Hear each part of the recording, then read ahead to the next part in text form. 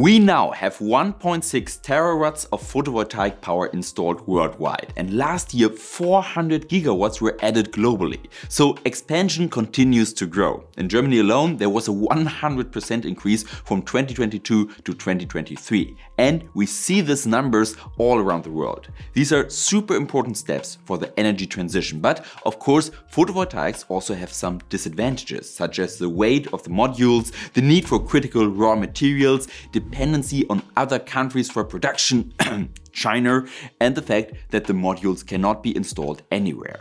The good news is that there is a solution to these problems, organic photovoltaic panels. They are made of carbon, are very sustainable, do not require critical raw materials and can be installed almost anywhere because they are extremely light. Today we will clarify how this type of photovoltaics works, what the advantages and disadvantages are and whether it is a kind of revolution in solar energy or whether a niche product. And with that, welcome to the German Science Guy. I'm Dr. Jacob Beautemps and in Germany we say Los geht's.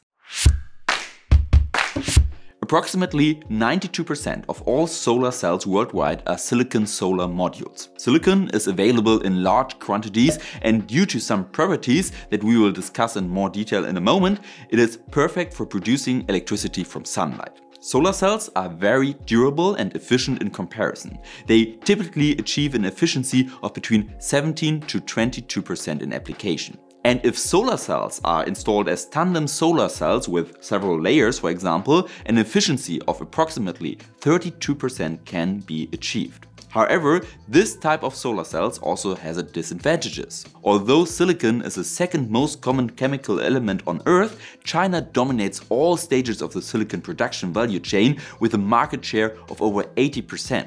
This makes Europe and actually the whole world extremely dependent. If trade with China were to collapse, the expansion of PV worldwide would be seriously jeopardized. What is so striking about this is that around 2010 there was actually still a complete PV supply chain, for example here in Germany and Europe. But because demand had fallen slightly in the meantime, production was then discontinued. Now prices from China are so low that it is extremely difficult for Europe to rebuild its own solar industry and it's the same for other countries. Only Norway is currently able to produce competitive silicon due to its low electricity prices. This dependency is of course a clear disadvantage. In addition to silicon, other materials are also needed to make a solar cell. And silver consumption is the most critical of these. The PV industry consumes approximately 1,500 tons of silver per year worldwide, which corresponds to just under 6% of the total production in 2020.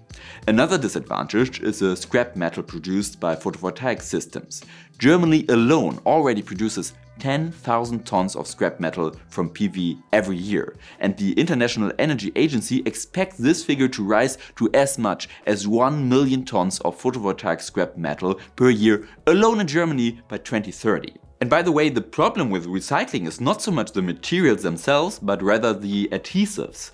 The individual components are simply glued together extremely strongly and it is very difficult to separate them cleanly. This makes recycling difficult. Another point is where can you install solar power? For example, it would be very interesting to install it on company roofs. But that is only a tenth of the suitable commercial roofs in Germany. At least that is the estimate of the German Solar Industry Association.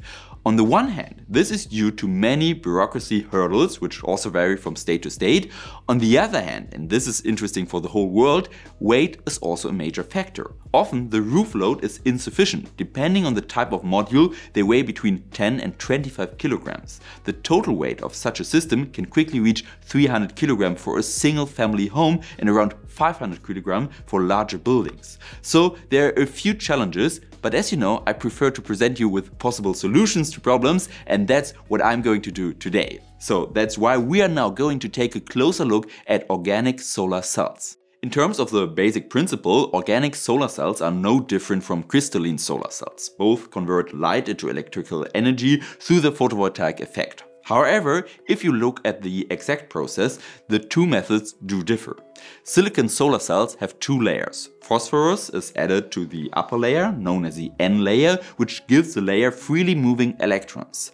Boron is added to the lower layer, the p layer. This creates holes that are positively charged, so to speak. A neutral boundary layer, the p-n junction, is created at the point where the two layers meet. The electrons from the n layer now pass through this junction into the holes in the p layer. This charges the edges of the layers. The edge of the n layer is then positive and the edge of the p layer negative. When light waves, so photons, strike the solar cell, this charge distribution is reversed. The electrons are excited by the photons and are released from their bonds. They are attracted by the positively charged n layer and move toward the electrode. A constant movement creates a flow of electrons that can be used. The advantage of silicon is that the electrons can be released from the atom with little energy and the energy of the photons is sufficient for this. Organic solar cells do not have this advantage. Here the whole process works a little differently. Solar cells have a donor layer and an acceptor layer. These materials are chosen to complete each other well. The donor releases electrons while the acceptor absorbs them. We will come back to the exact materials used in a moment, but when light hits the cell, Energy is absorbed, creating bound pairs of electrons and so-called holes. These pairs are called excitons, and the holes represent the absence of electrons, so to speak, and are therefore positively charged. The electrons do not move alone here, but together with the positive charge carriers or holes. At the interface between the donor and the acceptor, the electrons are captured by the acceptor, while the holes remain in the donor. This separates the charges. The charge carriers move to the electrodes by hopping. The anode, usually a transparent conductive layer, collects these holes while the cathode, a metal layer, collects these electrons.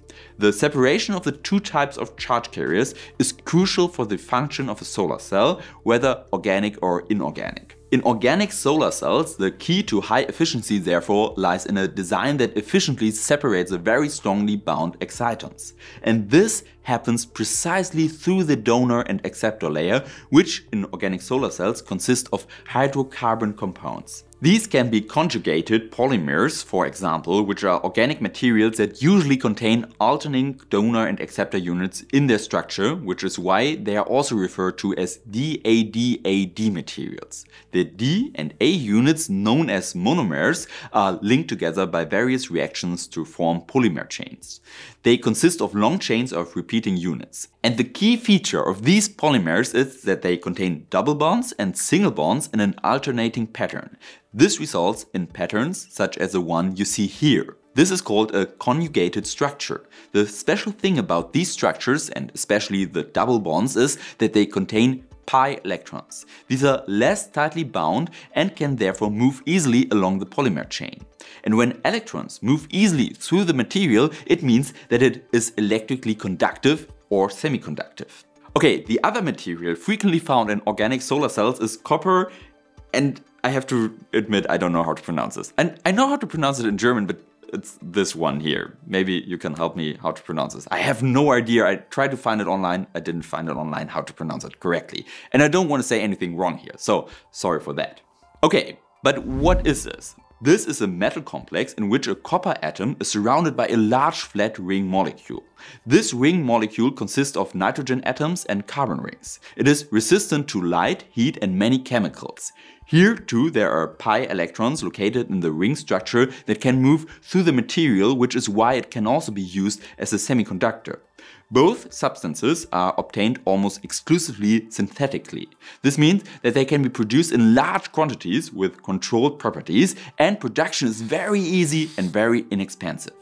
The raw materials, carbon-based plastics, are also very abundant on Earth, so these are pretty great news. For this reason, the layer of organic material must be only a few hundred nanometers thick so that the charges can reach the electrodes quickly enough. This is why the layers, which are 100 times thinner than a human hair, are vapor deposited onto a carrier film. This requirement also leads us directly to a decisive advantage of organic solar cells. Because the layers have to be applied so thinly, the solar cell itself is also super light and flexible and is often produced as a kind of film. In addition, no critical raw materials, heavy metals or other substances are required, eliminating dependency on other countries, which is for me one of the greatest points about this innovation. Production is also very environmentally friendly and the lower weight means less scrap is generated. As already mentioned briefly, many organic solar cells are produced as a kind of film. The largest company that commercially manufactures such a film is even based in Dresden in East Germany. The company is called Heliatek and this film can be easily added almost everywhere and used directly thanks to an integrated connection cable. Such a film element weighs less than 2 kilograms and can be bent up to 50 centimeters. Organic solar cells can be produced not only as film but also as transparent elements. This makes it even possible to attach them to window panes or integrate them into sun protection slats Although, of course, this naturally has an impact on efficiency, but of course there are applications where this compromise is very justified. The Fraunhofer Institute for Solar Energy Systems has a project in which organic solar cells are to be used in agriculture. Many plants are grown under foil to protect them from heavy rain, hail or even too much sun. A smart alternative to plastic foil could be translucent organic photovoltaics, which also protect the plants from the weather and generate electricity at the same time. And there's also a completely different area of application, namely organic solar cells for indoor use.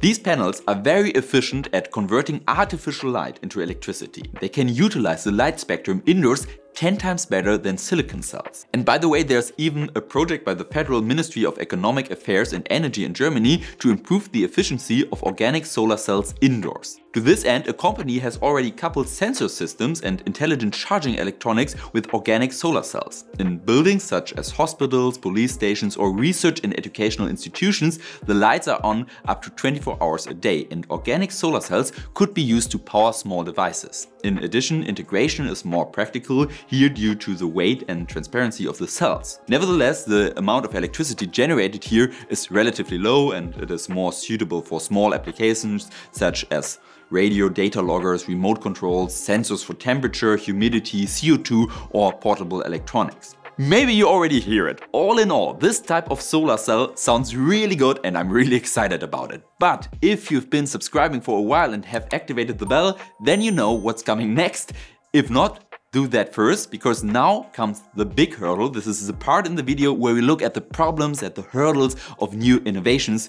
And to be honest, every new innovation has some hurdles. And many of you can already guess what this is about. We German usually love it. It's about efficiency, but this time it's not so efficient, so we Germans don't love it because Germans love efficiency. Unfortunately, the efficiency is still slightly lower than that of silicon solar cells. The record here is 15.8% under laboratory conditions, however 30.2% has already been achieved at least with artificial light. This is mainly because energy is still lost when the electrons and holes, so the excitons, are separated. In addition, the surface life is also significantly shorter than that of silicon cells because they are attacked by UV light, oxygen and moisture. At the moment, the costs are still high, which is interesting because the production costs are actually lower, but it depends on the scale of production. The solar industry for silicon solar cells is huge, incredibly huge. So the prices have fallen dramatically. But this means that in the long term, organic cells will probably also become significantly cheaper if they are produced on a larger scale. So this is not such a big hurdle to be honest. So in the end, you can say that the biggest disadvantage or the biggest hurdle right now is still its lower efficiency. But researchers say that the potential has not yet been exhausted and that significantly greater efficiency is possible with more research. So Let's come to a conclusion here. Organic solar cells are probably not currently revolutionizing solar energy, but rather occupy a niche market. However, it must also be said that they are a part of solar energy that still has great potentials for development and above all will become even more important in the long term due to the almost infinite availability of raw materials and the sustainability aspect.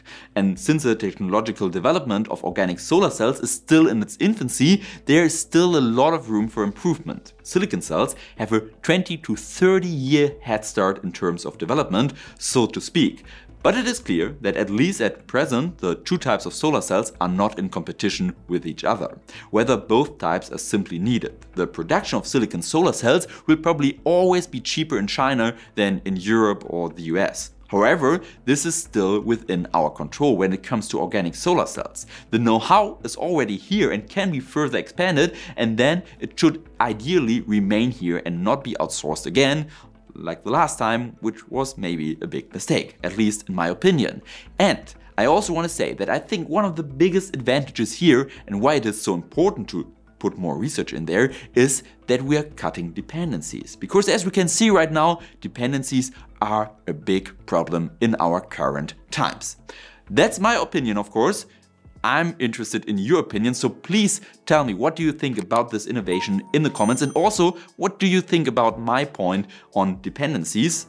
Do you also think we have a big problem here or do you think I'm a little bit over dramatic here?